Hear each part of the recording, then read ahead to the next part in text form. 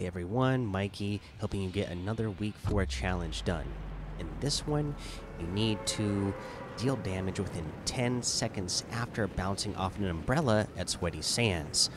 Uh, now, uh, you know where Sweaty Sands is right here, but also right here, right where I marked, is where you're going to find the most umbrellas at Sweaty Sands. So stick to this side of the map to get the challenge done.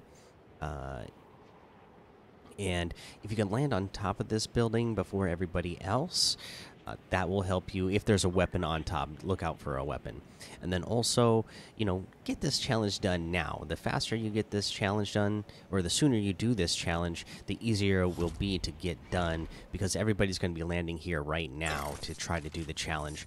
Uh, later on, uh, once everybody's got this challenge done right here at the beginning, you're not going to find as many people just walking around here easily to get the challenge done. And there you go. If this video helped you, please leave a like, comment, subscribe to the channel. Also hit that notification bell so you don't miss any of these videos.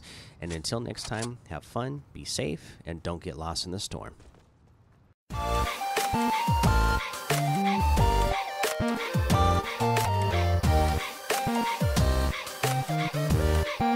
Yeah.